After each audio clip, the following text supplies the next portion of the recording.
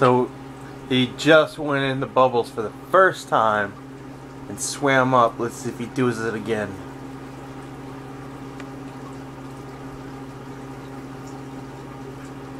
He's after the shrimp.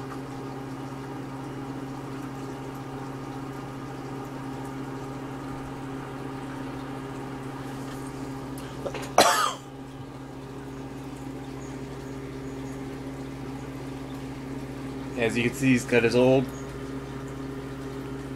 old one.